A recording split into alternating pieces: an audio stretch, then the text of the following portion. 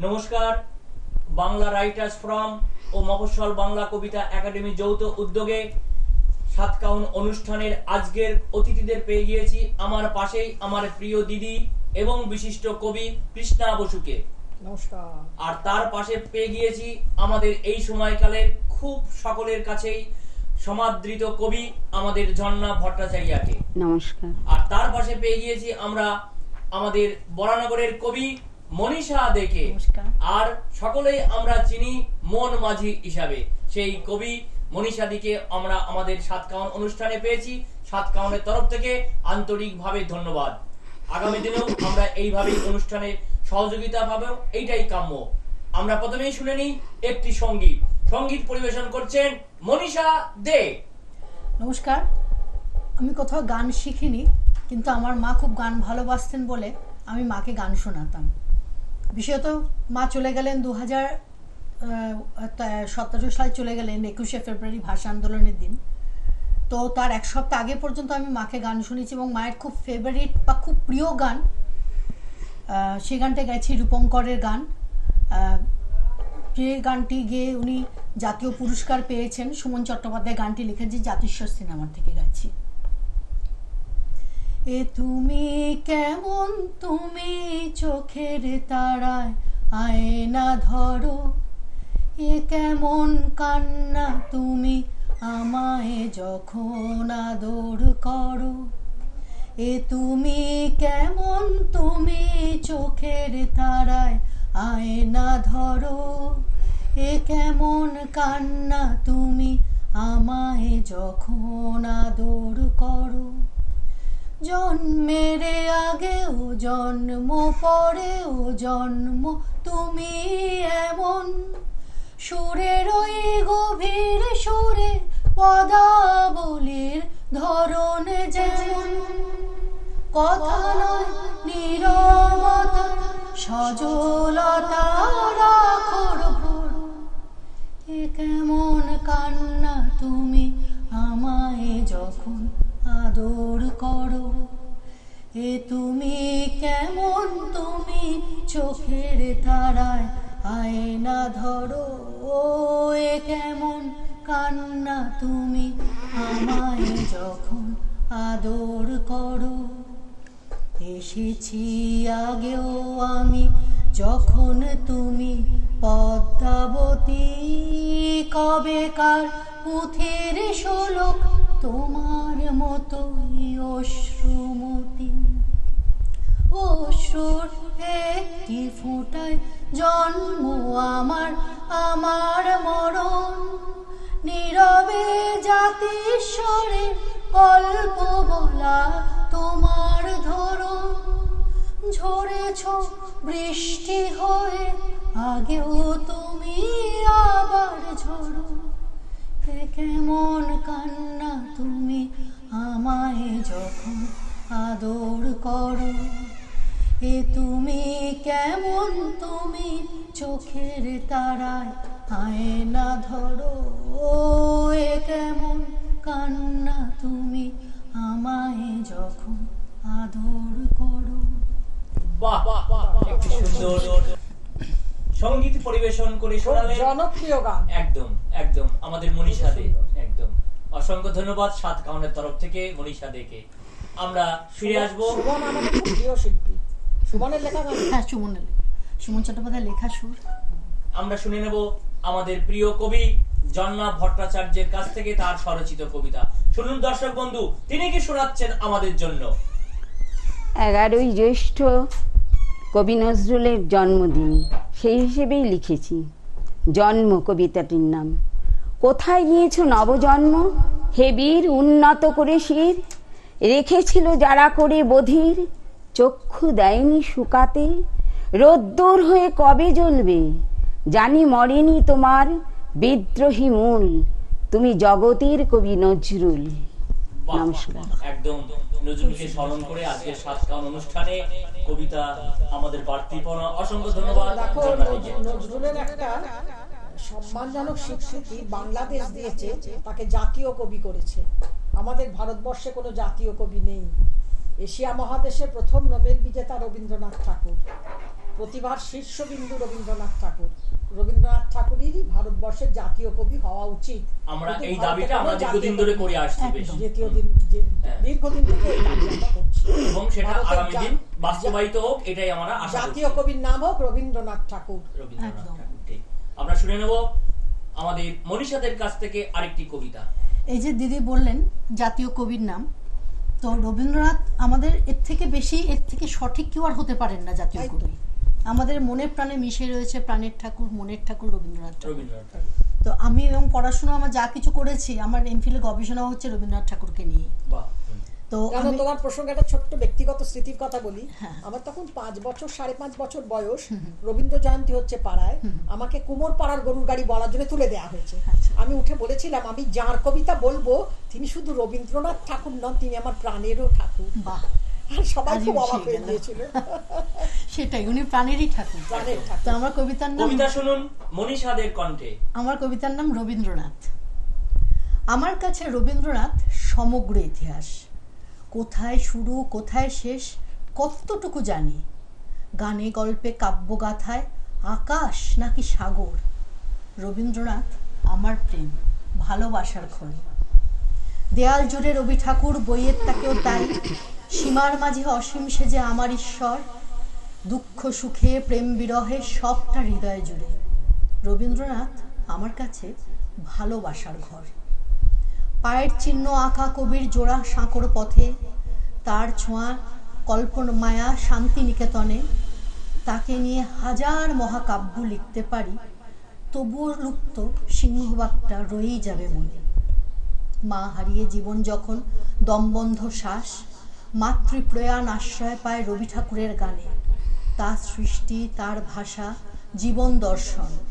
নয়ন তোমারে পায় না দেখিতে, রয়েছ নয়নে নয়নে। আমার কাছে রবীন্দ্রনাথ পরমাত্মার খোঁজ। রবীন্দ্রনাথে তাই খুঁজে পাই আমার স্বরূপ আমি।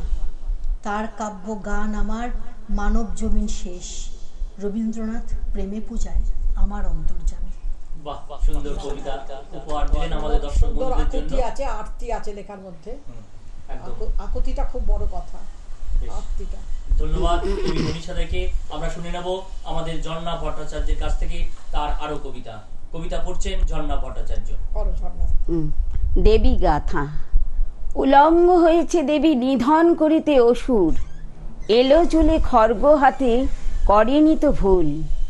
ক্লান্ত যখন রক্তক্ষরিত, একে একে মুন্ডমালা গলে, নেই অঙ্গ সুষমা, কালো বলে করেছে ভৎসনা। জাগো জাগো নারী, প্রমাণ করো সত্যতা, ফেলে দাও দুর্বলতা, বধ করো লালসার চোখ। মান, হুঁশ, চেতনা বিক্রি করে যারা, পায় না রেহাই শিশু বৃদ্ধারা, আছে তো দাঁড়িয়ে, তাহাদের তরে বারবনি তারা। নমস্কার। খুব জীবনের অমোঘ সত্যকে তুমি ধরেছো। খুব কঠিন সত্যকে সাহসের সঙ্গে বলেছ। বাহ সুন্দর কথা বললেন আমাদের প্রিয় মানুষ কৃষ্ণা বসু। আমরা শুনে নেব মনীষাদের কাছ- কাছ থেকে আরও কবিতা। কবিতা পড়ছেন মনীষা দে কবিতাটা বাস্তব এবং সমাজের দিকে তাকিয়ে আমার প্রশ্ন কবে? এসো আমরা আইপিএলে মাতি। এসো আমরা জুয়ের মালা গাঁথি। কি হবে আর দেশের কথা ভেবে? এক্কা গাড়ি যেমন চলছে, ঠিক তেমনই চলবে। তোমার আমায় টিভির খুব নেশা, নাম ভুলে যাই এক তো কাজের পেশা। বাঁচার জন্য রুজি রোজগার খুঁজে, ভুলবে দেশের বাকি কথাগুলো ভুলবে। সেই সুযোগে নেতারা দেবে স্তোক, ভিড় জমাবে অশিক্ষিত লোক। এদিক ওদিক তাকিয়ে অনুকরণ, না বুঝিয়ে হাততালিরা ঝড় তুলবে। হঠাৎ কোনো নেতার শুনব বলি, এদিকে নিজের ফাঁকা পাশ বইটা খুলি। পাঁচ বছরের কুড়ে ঘরটা প্রাসাদ আমাদের চোখে ঠুলিটা কবে খুলবে। এই যে দুই কবিকে আমরা আমাদের অনুষ্ঠানে পেয়েছি মনীষা এবং ঝর্ণা ভট্টাচার্য। আপনি একজন প্রবীণতম কবি আমাদের সকলের প্রিয় মানুষ। আপনার কিন্তু আমি দেখেছি সারা বাংলার বুকে আপনার কৃষ্ণা বসুকে সবাই চেনে। গ্রাম বাংলার এবং আপনার ব্যবহার আপনার কবিতা শুনে ভীষণভাবে তার খুশি আপ্লুত। এই দুই কবির কবিতা আপনার কাছে কেমন মনে হলো? দুই কবির কবিতার মধ্যেই মেসেজ আছে বার্তা আছে জীবনের সত্য আছে এবং কবিতাগুলি অল্প সময়ের মধ্যে পড়া হলো বটে কিন্তু জীবনের সত্যের দ্বারা উদ্ভাসিত হয়েছে ভালোই লেগেছে বেশ লেগেছে। এরা দুজনেই আরও লিখুন আরও প্রচুর লিখুন লেখার মধ্যেই জীবনযাপন করুন এবং এই কথাটা মনে রাখতে হবে। কবিতা হচ্ছে সবচেয়ে সূক্ষ্ম সবচেয়ে গভীর সবচেয়ে নিবিড় শিল্প তাকে গভীরভাবে ধরতে হবে, কবিতাকে ছাড়লে চলবে না। একদম ঠিক কথা বলেছেন কৃষ্ণা বসু।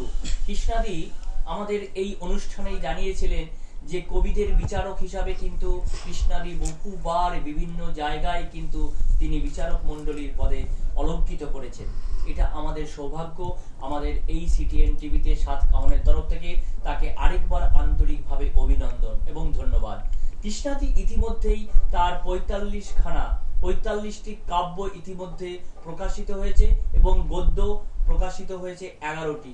অর্থাৎ এই যে বাংলার কবিদের কাছে, বাড়তি পাওনা তৃষ্ণা বসু, আমাদের কাছে তৃষ্ণাদি যেন সত্যিকারের প্রিয় মানুষ, প্রিয় কবি হিসাবে চিরকাল, চিরটা কাল বেঁচে থাকবে, এটাই আমরা আশা রাখতে পারি। এবং দীর্ঘায়ু কামনা করি কৃষ্ণাদিকে যেন পাশে পেয়ে আমরা সকলে সকলে উপকৃত হই।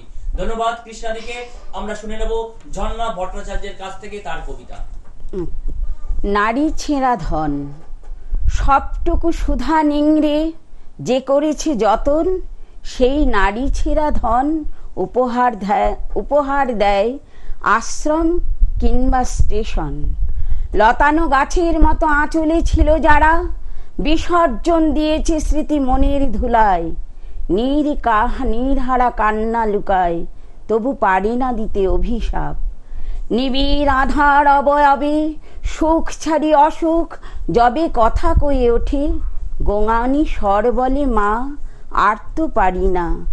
আকাশ পথে হাঁটছে যেজন মৃদু হেসে বলে চাহিয়া দেখো শিয়রে দাঁড়ায়ে নিজ দর্পণ। কবে জাগবে জগৎ? কঙ্কাল সার কাঙালের কেহ নাই।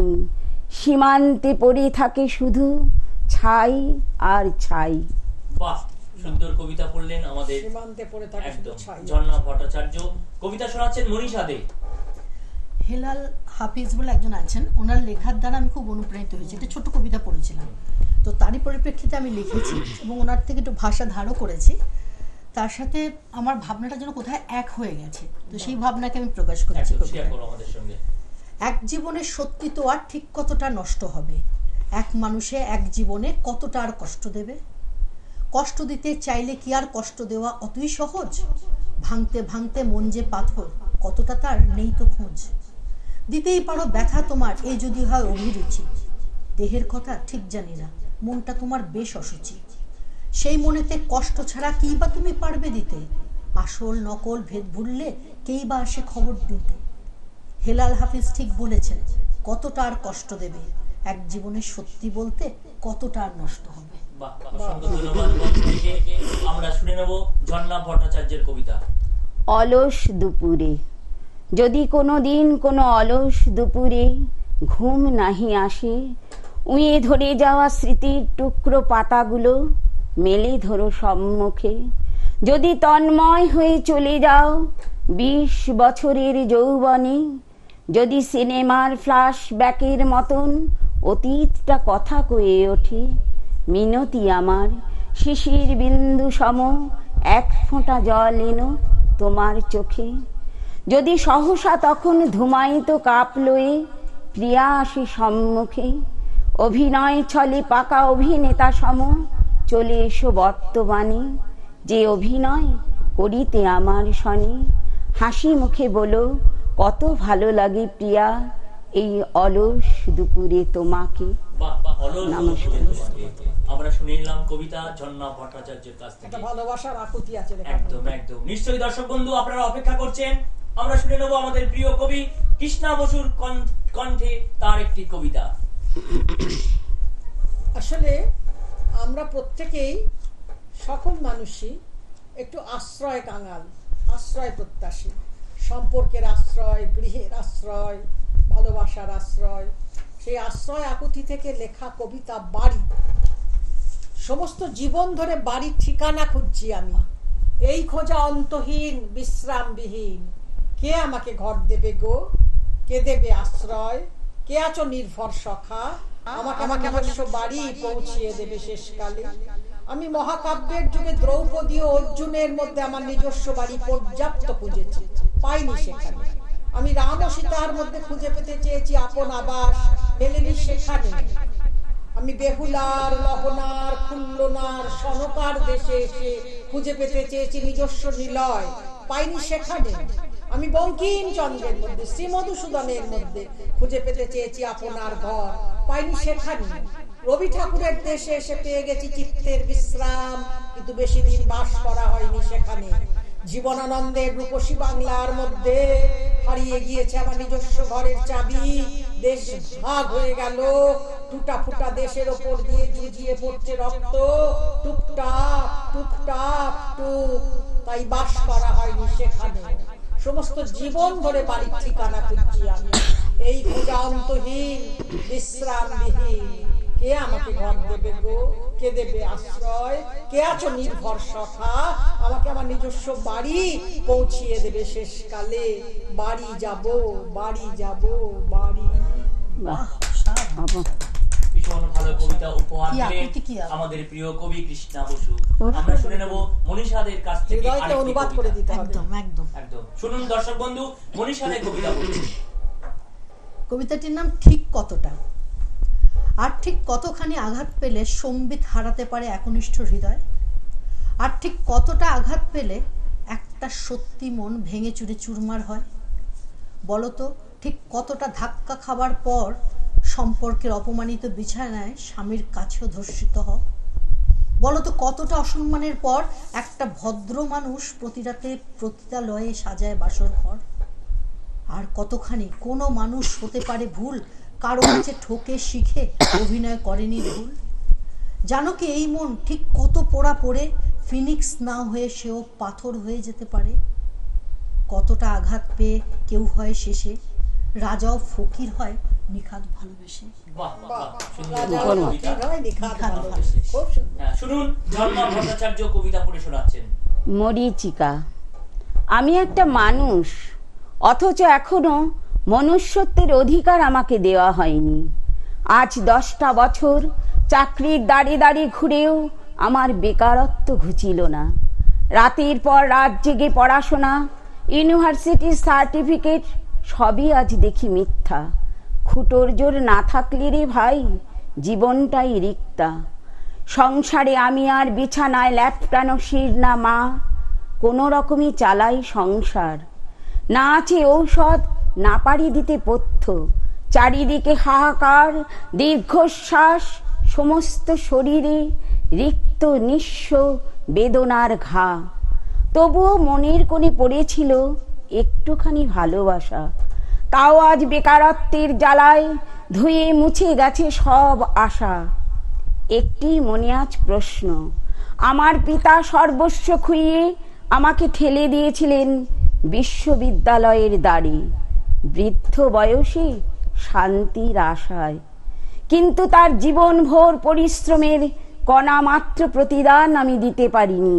কারণ সমাজের কাছে আমি পেয়েছি শুধু না হবার নোটিশ। বাহ সুন্দর কবিতা। তার কাছ থেকে শেষ মুহূর্তে আমরা যুগের- এসে যুগের গিয়েছি যন্ত্রণাও ধরা শুনে নেব তার কাছ থেকে আরেকটি ছোট কবিতা।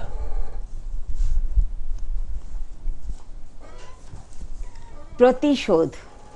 জাম্বুবতীর পুত্র সাম্য সাজিল নারী। অপমান সহিতে না পারি ক্রোধে অভিশাপ দিল নীরব হল যদুকুল ফলিল মুনির বাণী। ব্যাধির বিষাক্ত তীরের আঘাতে চরণ যুগল ঘিরিল বনতল লুটায়ে পড়িল বনমালী গেল অস্তাচল। সুন্দর কবিতা। আমরা ফিরে যাব আমাদের মনীষাদের কাছে। শোনাচ্ছেন তার স্বরচিত কবিতা। চোদ্দই ফেব্রুয়ারি ভ্যালেন্টাইন ডে। তো সেই দিনই রক্তাক্ত হয়েছিল বিয়াল্লিশটি তাজা প্রাণ হ্যাঁ, তো এই মর্মান্তিক আঘাতটা আমাকে এতটাই ব্যথিত করেছে। আমার মনে হয়েছে কোনো ক্ষমার কোনো বোধহয় শেষ কথা হতে পারে না। যেখানে আমার দেশের সেনা মরছে আমরা হয়তো আনন্দে মারছি, বসন্ত উৎসব করছি। কিন্তু যাদের ঘরে গেছে, তারাই জানে কতটা কি হারালো। তো তারই পরিপ্রেক্ষিতে আমার লেখাই কবিতাটা। বাতাসে যখন বসন্ত এলো প্রেমের দিবসে প্রেম গান, তখন ওদিকে অতর্কিতে কত জোয়ানের গেল প্রাণ। আমি আছি প্রিয় বাহুতে যখন চুম্বন আর হাসি মুখে, ওধারে তখন মৃত্যু মিছিল আমাদের যারা জীবন রাখে। রাস্তার ধারে মাঠে ময়দানে অশোক পলাশ, লালবাহার, ওদিকে তখন শহীদ রক্তে আমার জন্মভূমি একাকার। প্রেম মিছে হয়, বুক ফেটে যায় এই রক্তবীজের কি শেষ নেই? কেন তবে মিছে নিজেকে ঠকায় হিন্দু আর ওরা ভাই ভাই? ক্ষমার অহিংসা সিন্ধুকে রাখো, স্থবির কাপুরুষতা মোরা নিষ্ঠুর হয়ে করব ধ্বংস আমার দেশের শত্রু যারা। আর নয় প্রেম নয় গো সোহাগ, বিপন্ন বড় সময় এই। মৃত্যু জোয়ান তারাও তো ছিল আপনজনদের প্রেমেতেই। সেনা ভাইদের রক্তে রাঙানো চোদ্দ ফেব্রুয়ারি।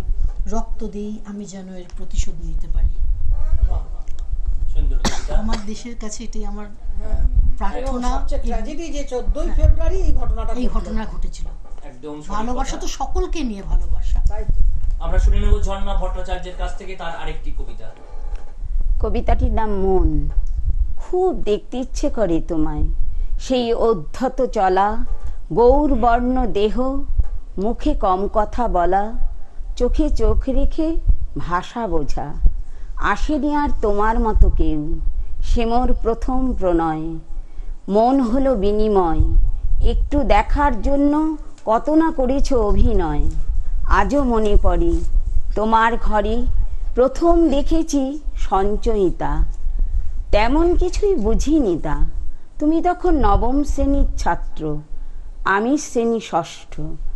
দিনে একে দিলে একটি পত্র, উপহার দিলে কবিতা, ছোট্ট কটি লাইন। বুঝবে, সেদিন বুঝবে। আমি সবে ধরেছি কলম, তুমিও লেখো বুঝি শুধালাম তখন ছিলাম বড্ড বোকা, বড় হয়ে দেখি সেটি রবি ঠাকুরের লেখা। ভুলতে পারিনি তোমায় দিনশেষে মেয়েবেলার কথা শুরুর পরেই শেষ। জানি তবু থাকে কিছু রেশ নীরবে কাঁদে গোপন ব্যথা। এবং এর মধ্যে একটা স্টোরি লাইনও রয়েছে গল্প রেখাও রয়েছে। অকথিত গল্পের কাহিনী রয়েছে। আমরা শুনে নেব মনীষাদের কাছ থেকে আরেকটি ছোট কবিতা। আচ্ছা। তারপরে শুনব আমরা কৃষ্ণা বসুর কিছু অনুভূতির কথা তারপরে সংগীত দিয়ে আমাদের অনুষ্ঠান শেষ করব।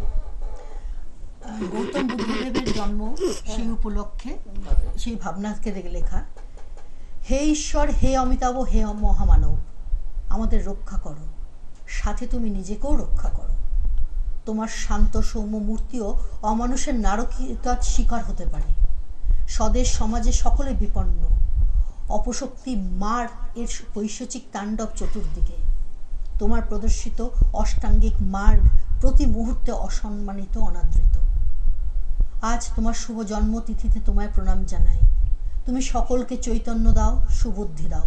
তোমার আলোর অজ্ঞানতার আধার লুপ্ত হোক। এ বোধিসত্ত্ব, আমরা কেউ বোধিজ্ঞানের যোগ্য নই। আমাদের সাধারণ জ্ঞান ও সৎসাহস দাও। শান্তির অবতার সারা বিশ্বে শান্তি এনে দাও। আমরা সকলে তোমার শরণাগত।